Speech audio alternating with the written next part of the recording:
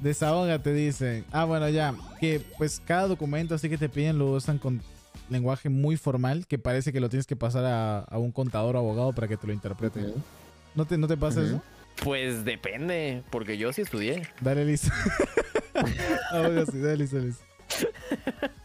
Entonces depende de, de que sea, tipo, yo llevaba así de que finanzas y contabilidad, entonces... Ah, es que tú estudiaste de- esa carrera, pues, ¿no? Tienes- va, depende de que sea en sí, ¿sabes? O sea, porque Por eso se yo estudia, sí dicen. Ah, pongo el colegio, te, ¿no? te, te enseñan eso. Pues depende. Igual no te enseñan bien, ¿eh? O sea, te En el enseñan colegio cosas no que... te enseñan cosas de la vida. Es que te enseñan cosas que nada que ver. su Deberían madre. enseñarte cómo pagar impuestos, qué es tal, qué Claro, es esto, eso qué es lo el deberían de otro, enseñar bien, propiedades, de no sé qué, los documentos, un contrato, ta, ta, ta.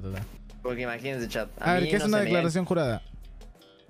Ah, yo qué sé, man. Pues eso es muy importante, vos de adulto lo vas a hacer a cada rato. No, yo no hago eso. Esa es la cosa, deberían enseñar esas cosas, tipo luego tienes que pedir ayuda a un adulto más grande. A ver, ¿qué es una declaración jurada? No, pues yo no sé, por eso estoy en esos.